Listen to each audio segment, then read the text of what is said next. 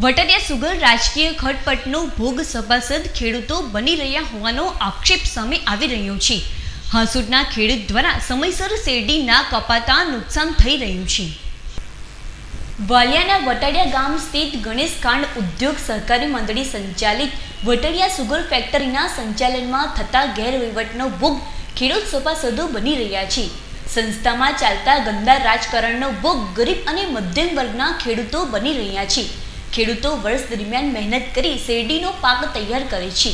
અને જ્યારે કાપણીનો સમય આવે ત્યારે વહીવટકર્તાઓની ભૂલો કે ગેરવહીવટના કારણે સમયસર કટિંગ થતું નથી. જેના કારણે જંગલી જાનવરો, ભૂંડ અને ઉંદરોના ઉપદ્રવને કારણે પાકમાં મોટું નુકસાન થઈ રહ્યું છે. ગેરવહીવટના મુખ્ય કારણમાં વટરિયા સુગર ફેક્ટરી જરૂરિયાત મુજબના મજૂરો પણ ઉપલબ્ધ કરી શકી નથી. અને જેથી કાપણી બાબતે સભાસદો તરફથી અનેક ફરિયાદો આવી રહી છે. વહાલા દવલાની નીતિનો ઉપયોગ થતા હોવાના આક્ષેપો પણ સભાસદો તરફથી થઈ રહ્યા છે. જે સભાસદ નથી તેવા ખેડૂતોની બિનમંજૂરીની શેરડી કપાતી હોવાની અને જે સભાસદોએ નોંધાવેલ છે, એ સભાસદની શેરડી કાપવામાં આવતી ના હોવાના ગંભીર આક્ષેપો ખેડૂત સભાસદો તરફથી થઈ રહ્યા છે.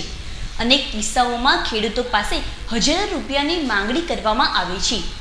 જો ના અપાય તો ચાલુ કટિંગ છોડી દેવામાં આવતું હોવાની પણ ફરિયાદ સામે આવી રહી છે.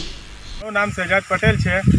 આ શેડા ગામમાં મારી શેરડી ગણેશ ખાન ઉદ્યોગ, વટરિયા, સુગર તેમાં નોંધાયેલી છે રેગ્યુલર.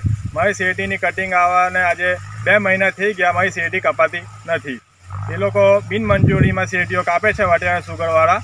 તે લોકો બિનમંજૂરીમાં એ લોકોને પંચોતેર રૂપિયા ટને ફાયદો થાય છે. એ લોકો તે લોકો બિનમંજૂરી બિન સભાસદ શેરડીઓ કાપે છે. અમારા રેગ્યુલર શેરડી કાયદાસર મુજબ નોંધાયેલી છે, તે શેરડીઓ લોકો કાપતા નથી. કે અમે બીજી ઠેકાણે એને વેચવાનું કહીએ તો કે ના, તમને ડન થશે. એમ કહીને અમારી શેરડીઓ કપાતી નથી. અમારી શેરડીઓમાં બહુ નુકસાન થાય છે. અમે ફોન કરીએ, અમારા ફોન નથી ઓફિસરો ઉપાડતા. અને અમારું કંઈ જવાબ આપતા નથી. બે દિવસ પછી કાપું, ચાર દિવસ કાપું. મારા ખેતરમાં ખેત મજૂરો શેરડી કાપવા આવ્યા. તે લોકોએ મને કીધું કે મને પાંચ હજાર અમે તમે આપો, તો અમે તમારી શેરડી કાપીશું. અમે ત્રણ હજાર આપવાનું કીધું. તે લોકો બી અમારી શેરડી કાપીની અને મજૂરો જતાડ્યા. આજે બી મારી શેરડી ઉભેલી છે અને એને કોઈ કાપતું નથી. એનું જવાબદાર કોણ?